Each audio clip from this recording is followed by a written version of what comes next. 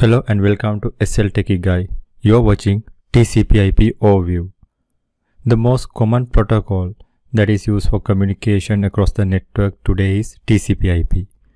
Well, there's a couple of things you need to know about TCP/IP and that is what we are going to talk about here.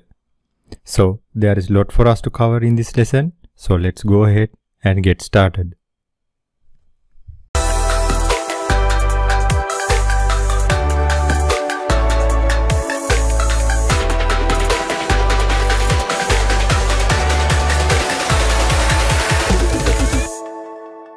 When it comes to TCP/IP, we have got to think of it as a communication language. This is how two computers or two devices communicate with one another. Now, think about languages. If we were speaking, well, I am speaking right now English, right? But think about if I was speaking Hindi and you didn't understand any Hindi word. Or I was speaking Sinhala and you didn't understand any Sinhala word. How are we supposed to communicate with each other? The good thing is TCP/IP is the default standard that exists. So all of our Mac people and all of our Windows people and all of our Linux people and even our Unix people all communicate using TCP/IP. Now TCP/IP is actually a suite of protocols, right? There are several protocols that exist. In fact, notice that TCP there is actually a slash and then an IP.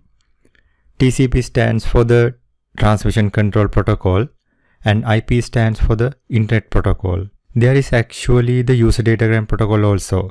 There is ARP, the Address Resolution Protocol and so on and so forth. There are a lot of different protocols that actually make up TCP/IP. TCP and IP are the two main protocols that we use, but there is a whole suite of them available to us. Now, in order for us to communicate, we do have to have what is called an IP address. An IP address today is typically what is called an IP version 4 address, okay? Meaning that we have an IP address that is going to be broken down into four separate numbers.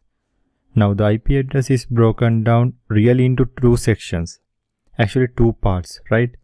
One part is called the network address. Now network address, think of this kind of like the street. This defines the network that we exist on inside the entire planet, right? Then we have what is called the host address. And the host address is kind of like the home address. I mean, if you think about sending a letter to somebody, right? You write down the number, uh, house address, right? Following the street. Well, with an IP address, we do a very similar process because we need to know what network you are part of and once we get to that network, which host you are on that given network. There is also what is called a subnet mask and a subnet mask helps us understand where the dividing line is between the network portion and the host portion of your IP address. The subnet mask also helps us understand what class IP address we have there is actually three main classes that we are going to talk about here in just a minute okay? We also have as part of the IP address what is called the default gateway or the router. The default gateway or that router is an address that says if we don't have that host the person you want to communicate with that printer or server on your network how can I get there? And that is what the default gateway or the router is. It is the path to help us get there. Once again, there are two different types of IP addresses today. The most common one is IP version 4 and this is the one that is been around for a long time, like back in 1960s. The problem is we are almost out of addresses, right? Well, actually in theory we are out of IP version 4 addresses. So that's where the next generation of IP address is coming into play and that is IP version 6. But the good thing is they are all part of the same suite. Those same suite of protocols that is going to allow us to be able to communicate. When it comes to IP addressing, remember that every device that is going to connect into our network has to have one. And an IP address is actually broken down into what is called a dotted decimal notation. If you take a look at the numbers that we have here, you will notice it is 192.168.8.150. So that is that dotted decimal notation. Now notice we actually have four separate decimal values 192, 168, 8 and 150. So four separate decimal values that make up our IP address. Each decimal number is actually a representation of 8 binary bits. Computers actually understand binary bits, right? Binaries, zeros and ones.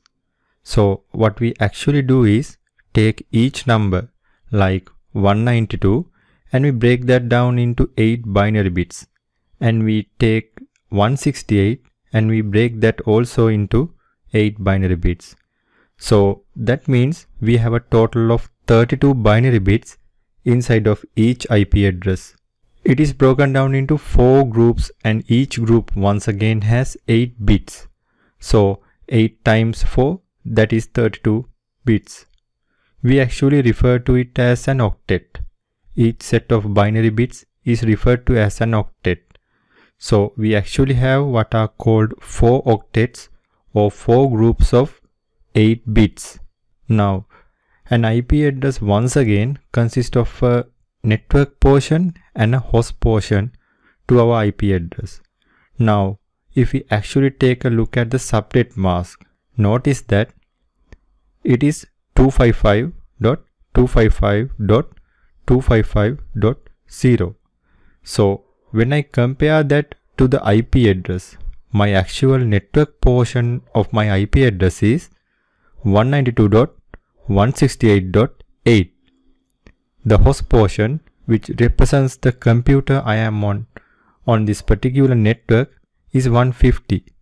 So that is where that subnet mask comes in because it helps confirm it or at least give us an idea where the dividing line is between our network portion and the host portion of our IP address.